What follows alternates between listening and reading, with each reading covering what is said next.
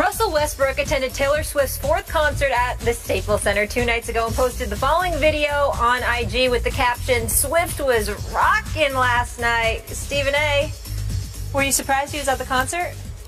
I'm not surprised about anything with Russell Westbrook because I think to say he's eccentric would be kind. I mean, whether it's the wardrobe or anything else, I mean, that's who he is. But it works for him, and he's a superstar. He gets the right to do that. I'm happy he's happy. Yeah, I'm, I'm with you. He delights in being shockingly different, and I like and respect that. It's his attire, it's his choice of music, it's his shot selection. You just never know what he's going to do because he's going to do what he wants to do, and he doesn't care what you think about what he chooses to do. Now I know he's why. earned it. Oh. Yeah. I ain't mad at him.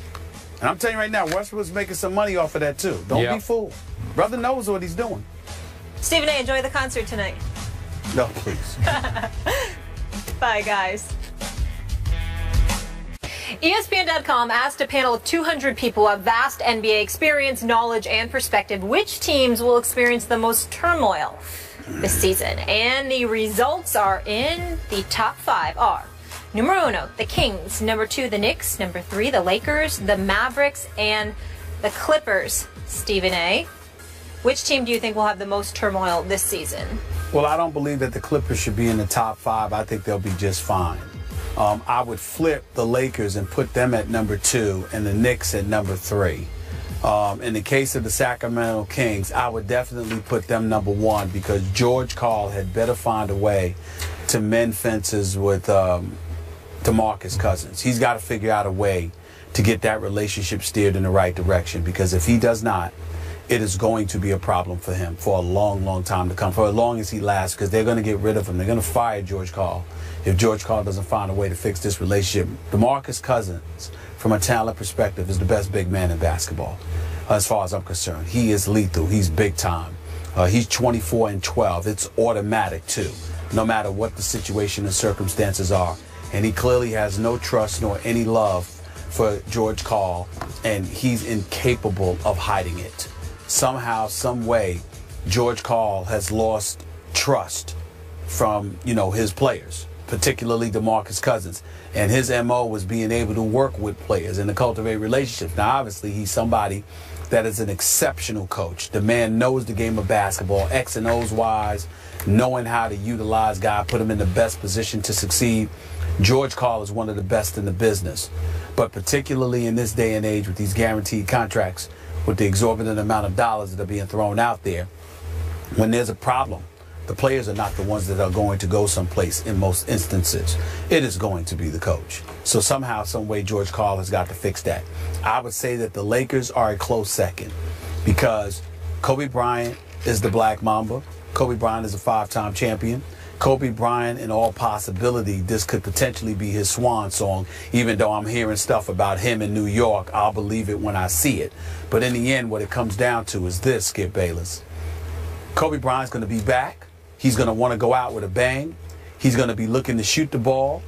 Uh, he's going to look for guys to step up and produce.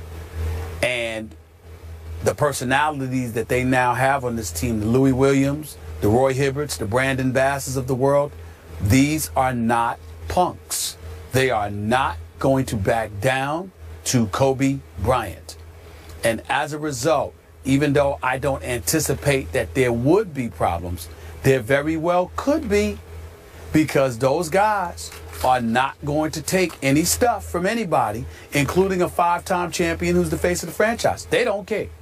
And so, because of that, you never know the potential for friction that exists there. I would say Sacramento first, Lakers are short, uh, uh, you know, uh, you know, a close second. The Knicks third because they're, they're they're just dysfunctional by nature. And I, that's all I'm going to say about the New York Knicks today because I'm in Los Angeles and I really, really don't want to depress myself. Speaking of Los Angeles, I cannot tell you how much I disagree with your assessment of the Clippers. You said they wouldn't even be in your top five, right? They'd That's be right. down the list. Yeah. I got them at one. Number one on my wow. list would be the Los Angeles Clippers, coached by one Doc Rivers, for whom I have really? immense respect. I think really? Doc is going to be in for a long, hard basketball season that will test him to the max. test him until even he might feel like he's about to break. Hmm. I, Stephen A., when you throw Lance Stephenson and Josh Smith into that locker room, onto that bench, into that rotation, and Doc is trying to juggle minutes between those two, and obviously you have a strong-willed personality in Paul Pierce, who's going to command, demand certain amount of minutes as the new experienced veteran factor on that team. I don't know if Doc, even Doc can pull that off. And then DeAndre Jordan, obviously in the offseason, made his quick decision to go to Dallas. Then he decommitted from Dallas. We all know he went back to the Clippers because Chris Paul finally made peace with him, said all the right, nice things to him that he wanted to hear and had never heard from CP3. I don't know if they make nice all year because Chris is Chris and he's 30 years of age, going on 31 and he knows in his heart of hearts it's time. They were up three to one on the Houston Rockets in the conference semis, and they blew it. And again, I have to heap a lot of that responsibility on Chris Paul, even though his numbers in that series still looked CP3-ish. They were still good on paper. I thought, in principle, on the court, he wasn't the leader they needed him to be at that point. I expect him to have a big year but I expect this team to, to suffer a little bit of the residue of blowing a 3 1 lead. Could get off to a rocky start, and you've got so many strong wills, so many outspoken personalities in that locker room. I, I don't know. I, I think you've got a volatile mix there. And, and I look, you, went to the obvious one in Sacramento. George and DeMarcus, I like the heck out of both of them, frankly, and they have clashed publicly. I'm, I'm wondering if they've clashed so much publicly, it's so out there that it will help them clear their air a little bit to where they'll at least coexist this year. And plus, DeMarcus, yeah, DeMarcus Cousins, he's Oh. a different kind of he's a I- different kind him. of cat. I- Skip. I know him. I know He's know a different kind of cat. I love his game. I think he's big time. He's Again, I big think he's the best big man in the Yeah, I game. I, completely think they would have been asinine to trade him. I don't think you let him go. You deal with him. Uh, but the thing about it is for George Karl to get there and literally to be there for just a minute and talk about trading him or allow those rumors to That's get out George. there that you can't do that. You just you got to know that this is a different this is a different animal you're dealing with here. You can't do that to DeMarcus Cousins. You can't do that. Well- and so because of it, I, I just I just consider it to be volatile. I don't I know you sit there and say the Clippers, and yeah, the potential is there, but I just have so much faith in Doc Rivers as a leader, and I think the whole fiasco involving DeAndre Jordan helps them immensely because a lot of the stuff that was being internalized No, got out. And because it got out and they realized what almost happened to them, I think CP3 is going to be a better, an even better teammate. I think Blake Griffin deserves a lot of credit because if you notice, no one really had a problem with Blake Griffin. And so because of that, I think he also assisted in bringing guys together. Paul Pierce is there now. He's a champion and he's a leader. Give credit where credit is due. I think you look at that, the fact that you added Paul Pierce to that locker room, and Paul Pierce was in Houston at DeAndre Jordan's house when all of that was going down too.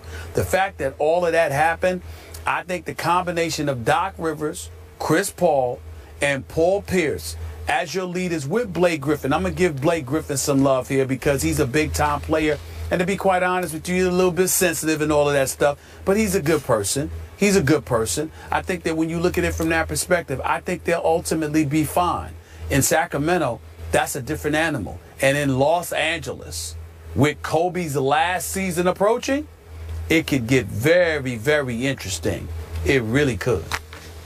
I didn't anticipate those two teams. Very interesting. I'm on record, and I'm not gentlemen. backing off that. Okay, we got you. Lack of faith in Doc Rivers, Skip. More first take after the break. Keep it here.